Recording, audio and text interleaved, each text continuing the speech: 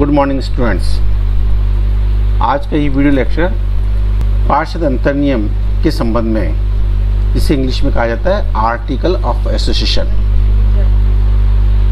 प्रत्येक कंपनी को रजिस्ट्रेशन करवाने के लिए दो महत्वपूर्ण डॉक्यूमेंट्स बनाने पड़ते हैं। एक होता है पार्षद सीमा नियम, जिसके बारे में अपन ने पूर्व में पढ़ा है। दूसरा होता है पार्षद अंतर नियम आर्टिकल ऑफ़ एसोसिएशन पार्षद अंतर नियम को भारतीय कंपनी अधिनियम 2013 की धारा दो, सब सेक्शन फाइव के अंतर्गत डिफाइन किया गया है। अंतर नियमों का आशय एक कंपनी के उन पार्षद अंतर नियमों से है जो किसी पिछले अधिनियम अथवा इस अधिनियम के अधीन मूल रूप से बनाया गया अथवा समय समय पर परिवर्तित किया गया है। यहाँ पर जो आर्टिकल डिफाइन किया गया है, उसमें कहा गया कि अंतर नियम शासिक ऐसे अंतर नियम से जो इस अधिनियम के अधीन बनाया गया हो या इसके पूर्व में प्रचलित भारतीय कंपनी विधान के अधीन बनाया गया हो, एवं रजिस्टर्ड किया गया हो, अथवा समय समय पर उसमें परिवर्तन किया गया हो। इससे पार्षद अंतर नियम का सही अर्थ हमें मालूम नहीं पड़ता है। लॉर्ड बॉबिन ने पार्षद अंतर नियम के संदर्भ में लिखा है, पार्षद सीमा नियम में वे आधारभूत शर्तें होती हैं जिनके आधार पर कंपनी का सम्मेलन होता है, और अंतर नियम कंपनी के आंतरिक, अंतर नियमों में कंपनी के आंतरिक नियम होते हैं, जिसके आधार पर पार्षद सीमा नियम में बतलाई गई बातों को पूरा किया जाता है। वास्तव में पार्षद अंतर नियम क्या है? आंतरिक प्रबंध संबंधी नियम। अंतर नियम तो आंतरिक प्रबंध संबंधी नियम। कंपनी, सभी प्रकार के रूल्स एंड रेगुलेशंस बाईलॉज जो पार्षद सीमा नियम बताई गई है, उन बातों को कंपनी किस प्रकार से पूरा करेगी, उसके संदर्भ में आवश्यक नियमावली। सदस्यों के मध्य के संबंध, सदस्य और कंपनी के मध्य के संबंध, संचालकों और कंपनी के मध्य के संबंध को इस अंतर नियम के माध्यम से डिफाइन किया जाता है। अब आता है पार्षद अंतर नियम की विशेषताएँ क्या होती है? जैसे भी मैंने आपको बताया document that content rules regulation and bylaws of company ये एक महत्वपूर्ण प्लेक होता है, जिसमें कंपनी के नियमों, उपनियमों एवं विनियमों का उल्लेख होता है ये मूल रूप से प्रत्येक कंपनी के द्वारा बनाए जाते हैं अथवा इसमें समय समय पर परिवर्तन किया जाता है। आर्टिकल में भी ओरिजिनली फ्रेम्ड और altered from the time to time ये मौलिक रूप से बनाया जाता है अथवा और इसमें समय समय पर आवश्यकता होने पर परिवर्तन किया जा सकता है। देन आता है अंतर नियम किसी भी कंपनी किसी भी विधान अथवा कंपनी अधिनियम के अधीन बनाए जाते हैं। देखिए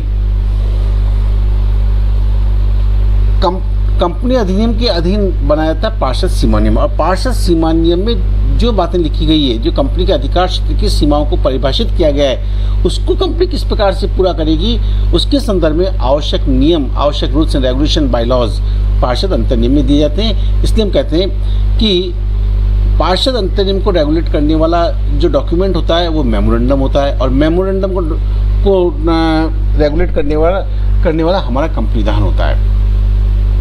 The article regulate the internal affairs of the company ये कंपनी के आंतरिक प्रबंध के मामलों का नियमन करता है। अंतर नियम में उन तरीकों, प्रारूपों को निर्धारित किया जाता है, जिनके अनुरूप कंपनी के कार्यकलाप संचालित किए जाते हैं, कार्यकलाप किए जाएँगे।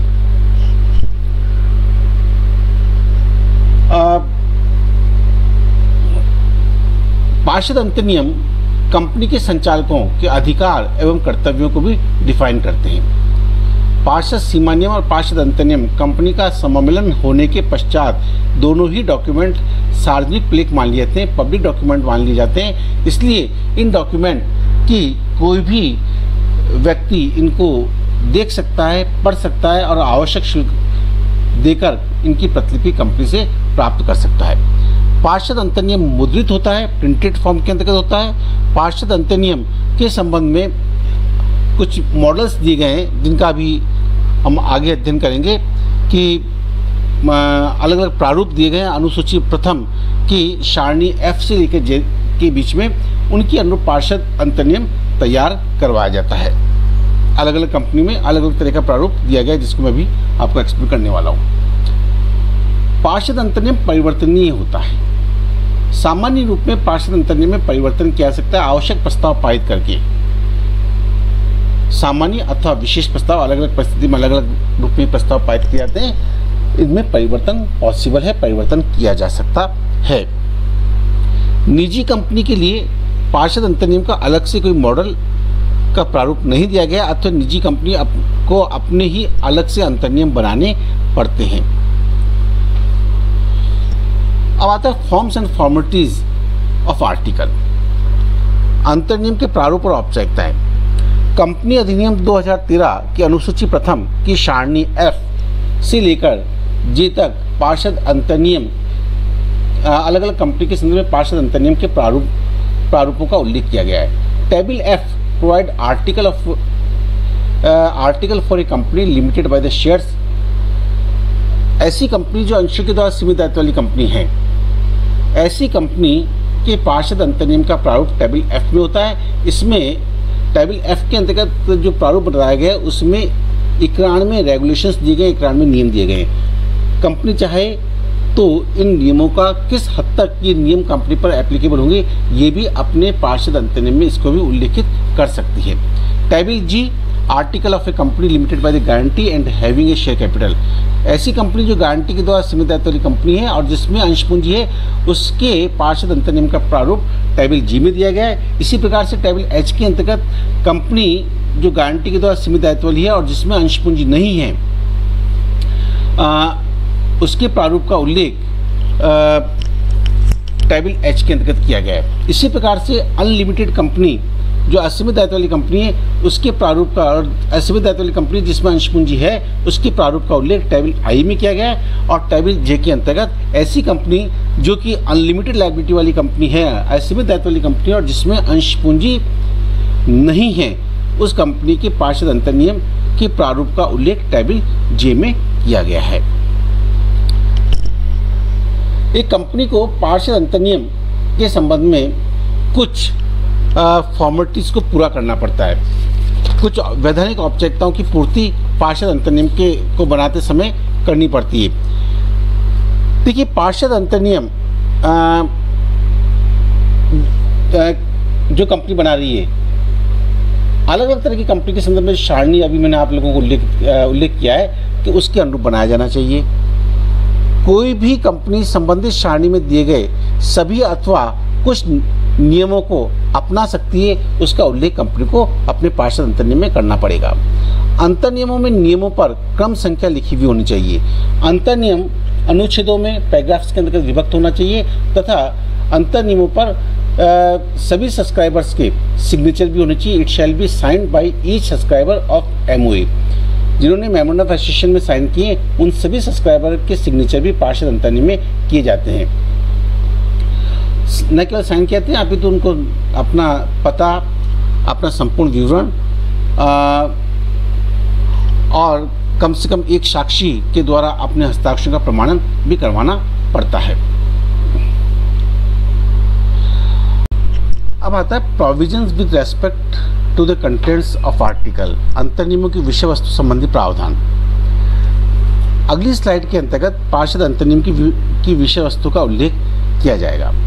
किन किन विषयों के संदर्भ में पार्षद अंतर्नियम में नियम दिए होते हैं? कंपनी के कार्यकलापों के प्रबंधन हेतु विनियमन regulation for the management of affairs of company प्रत्येक कंपनी के अंतर्नियमों में वे सभी नियम सम्मिलित किए जाने चाहिए जो कंपनी के कार्यकलापों के प्रबंधन के लिए ज़रूरी है। देखिए प्रारंभ में आप लोगों को ये बात बताई गई है, पार्षद अंतर्नियम कंपनी के आंतरिक प्रबंध संबंधी नियमों का उल्लेख करता है। कंपनी की गतिविधियों का संचालन किस प्रकार से होगा?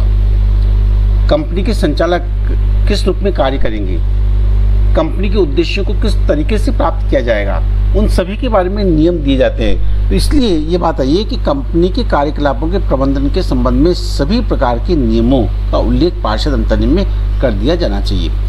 अदर मैटर्स अन्य विषय? कंपनी के अंतर्नियमों में वे सभी विषयों को शामिल किया जाना चाहिए, जिन्हें सरकार के द्वारा निर्धारित किया गया है कि इन्हें पार्षद अंतर्नियम में जोड़ा जाना ज़रूरी है। अधिनियम में स्पष्ट किया गया है कि सरकार कोई भी ऐसा नियम नहीं बनाएगी जो किसी कंपनी को अंतर को अपने अंतर्नियमों में कोई नियम जोड़ने से रोकता हो। ये section five sub section one और टू के अंतर्गत ये बात स्पष्ट की गई है। अंतर्नियमों में परिवर्तन हेतु अधिक कड़े एवं प्रभावी प्रावधान।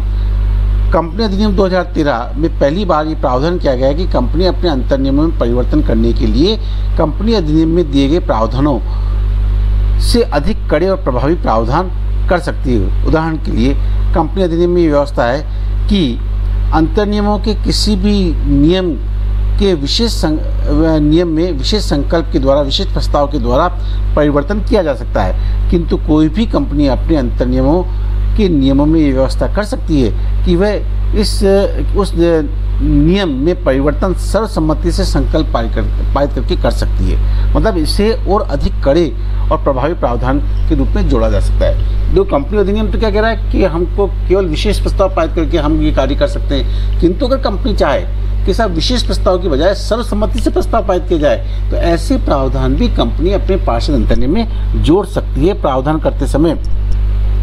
इन बात इस बात का उल्लेख किया जा सकता है।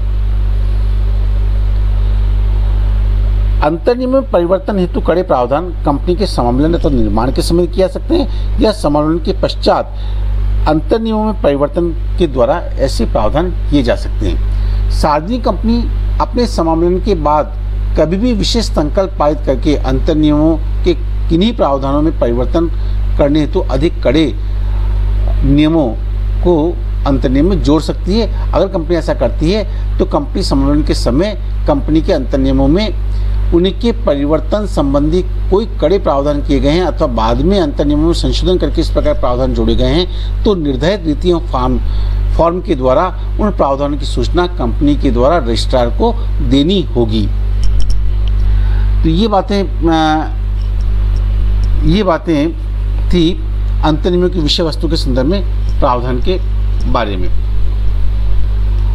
आप यहाँ पर अभी मैंने आप लोगों को यह बताया था कि मॉडल अंतर्नियम में जो प्रारूप प्रारूप दिया गया, वो किस हद तक कंपनी इसको स्वीकार करेगी, इसका भी इसमें उल्लेख किया जाएगा। कम, पूर्व के कंपनी विधान में पंजीकृत कंपनियों पर पर ये लागू नहीं होगा। ये उपरोक्त प्रावधान जो अभी आप लोगों के सामने डिस्कस किए गए हैं, ये प्रावधान उन कंपनियों के अंतर्नियमों पर लागू नहीं होंगे जो पूर्ववर्ती किसी भी कंपनी विधान के अधीन पंजीकृत हैं अथवा समय समय पर उसमें परिवर्तन किया गया है। बिना अंश पूंजी वाली गारंटी गारंटी के द्वारा सीमित कंपनी की दशा में बताया गया है कि ऐसी कंपनी अंतर्नियमों को बनाते समय एक विशेष बात को ध्यान में रखनी चाहिए। वह बात यह है कि इसके अंतर नियमों में यदि कोई ऐसा प्रावधान किया गया है जिससे किसी सदस्य के अतिरिक्त किसी भी व्यक्ति को कंपनी के लाभों में भागीदारी का हक मिलता हो तो ये प्रावधान व्यर्थ माना जाएगा। इस प्रकार का प्रावधान कंपनी नहीं कर सकती है।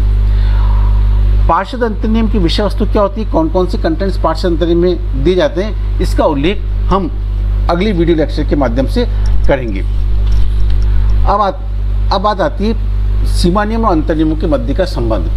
The relation between them is discuss under the following sub heads memorandum is the charter देखिए पार्षद सीमा नियम कंपनी का अधिकार पत्र होता है कंपनी का संविधान होता है। उसके अनुरूप कंपनी को internal rules and regulation and bylaws के लिए पार्षद अंतर्नियम बनाना पड़ता है। इसलिए मेमोरेंडम को चार्टर कहा गया है और आर्टिकल को इंटरनल रेगुलेशन आंतरिक प्रबंध आंतरिक नियमों का प्रपत्र कहा गया है। सीमा नियम उद्देश्यों को प्रकट करता है, जबकि अंतर्नियम उन उद्देश्यों की प्राप्ति हेतु विधि को, प्रक्रिया को निश्चित करता है, नियमों को निश्चित करता है। सीमा नियम प्रमुख प्रलेख है, उसके, वो डोमिनेट करता है मेमोरेंडम इज़ डोमिनेट इंस्ट्रूमेंट जो कि प्रमुख प्रलेख है, जबकि आर्टिकल सहायक प्रकृति का प्रलेख होता है, जो पार्षद सीमा नियम के अधीन बनाया जाता है।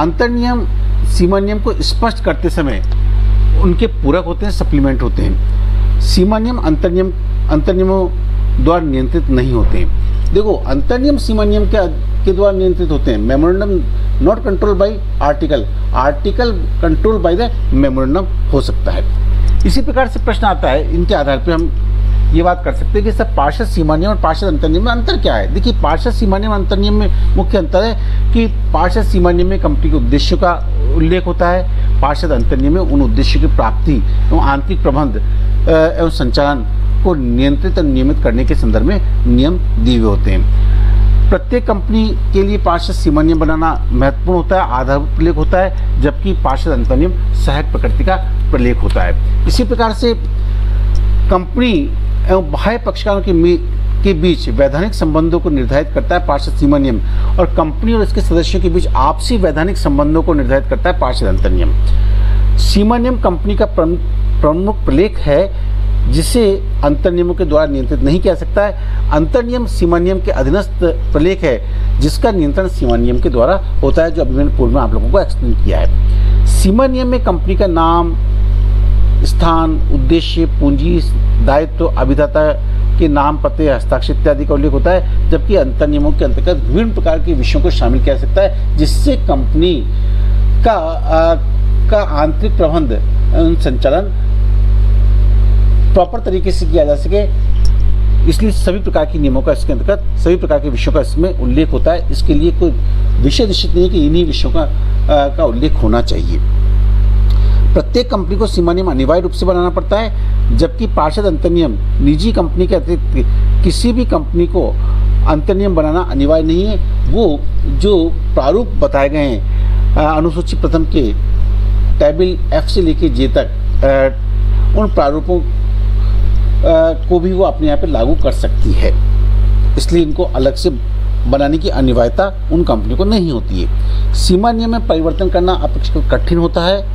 इसे परिवर्तन करने के लिए विशेष संकल्प पारित करना ही नहीं करता, करना पड़ता है। कई बार केंद्र सरकार से अथवा न्यायालय अथवा अधिकरण से भी इसका अनुमोदन करवाना पड़ता है, जबकि पार्षद अंतर नियम में परिवर्तन करना अपेक्षाकृत सरल होता है।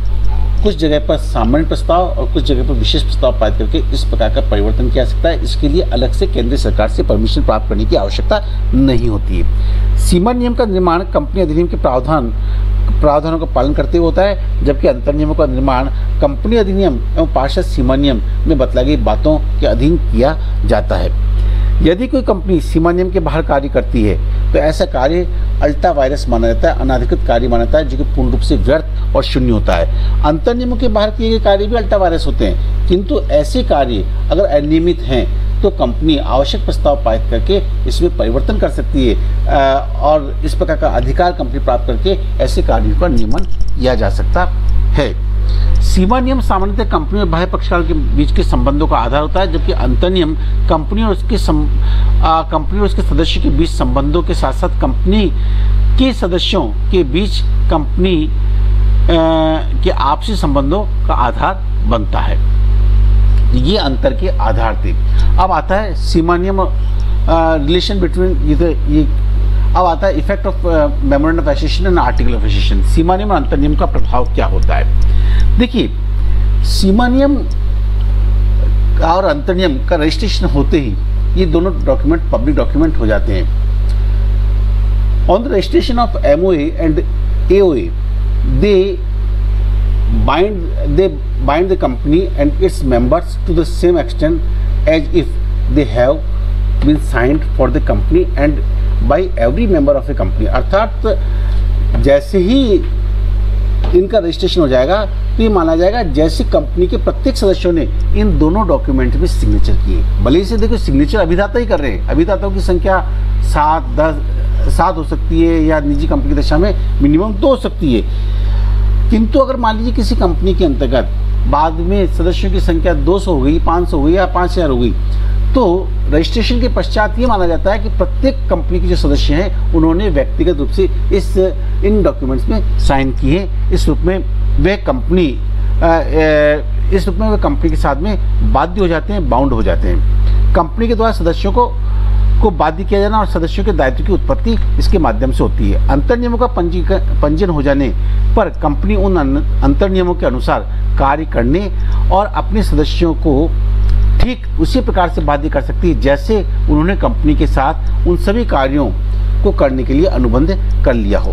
अर्थात कंपनी और सदस्यों के बीच अनुबंधना, अनुबंधनात्मक संबंधों कॉन्ट्रेक्चुअल रिलेशंस का जन्म हो जाता है। परिणाम स्वरूप प्रत्येक सदस्य कंपनी के अंतर नियमों का पालन करने के लिए बाउंड होता है, बाध्य होता है। जैसे याजना राशि को चुकाने, अंशों का ट्रांसफ़र करने, विक्रय करने आदि के संदर्भ में अंतर नियमों के प्रावधान से वो बंधा हुआ होता है।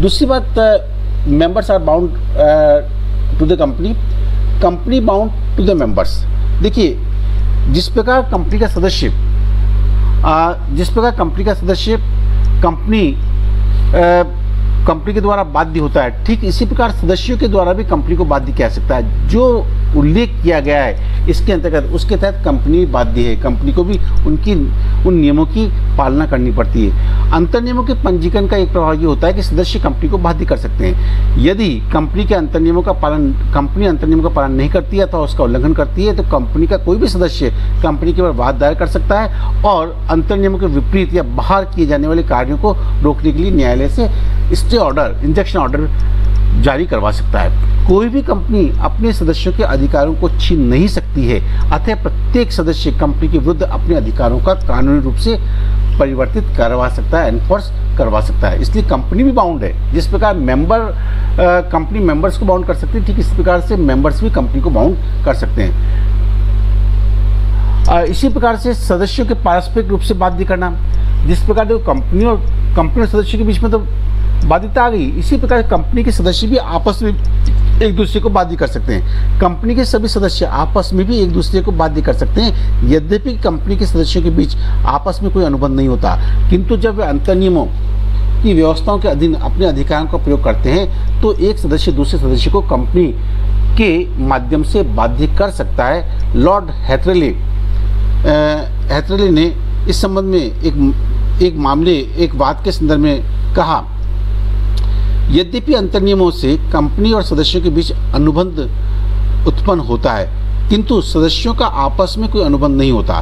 किंतु अंतर नियम सदस्यों के पारस्परिक अधिकारों को परिभाषित करते हैं, ऐसे अधिकारों को सदस्य आपस में कंपनी के माध्यम से परिवर्तित करवा सकते हैं, अतः प्रत्येक सदस्य किसी दूसरे सदस्य पर वाद प्रस्तुत करने के अधिकार के वाद प्रस्तुत करने के लिए स्वतंत्र होता है, यदि वह सदस्य कंपनी के अंतर नियमों की अवहेलना करता है अथवा उसका उल्लंघन करता है तो। Company is not bound to the outsider company अब प्रश्न ये आता है, क्या अंतर नियम तीसरे पक्षकारों को बाध्य करते हैं? तो इसके बारे में कहा है कि कंपनी तीसरे पक्षकारों को या तीसरे पक्षकार कंपनी को किसी भी प्रकार से बाध्य नहीं कर सकता है। दूसरे शब्दों में अंतर नियमों से कंपनी और तीसरे पक्षकारों के बीच किसी प्रकार का अनुबंधात्मक संबंध उत्पन्न नहीं होता, अपने आप उत्पन्न नहीं होता है। ये बात यहाँ पर अंतर नियमों और सदस्य के बीच के पास अंतर नियमों और सीमा नियम अंतर नियमों के प्रभाव के संदर्भ में बताई जाती है। इसके संदर्भ में, पार्षद अंतर नियम के संदर्भ में बाकी बातें नेक्स्ट वीडियो लेक्चर के माध्यम से आप लोगों को एक्सप्लेन की जाएगी। Thank you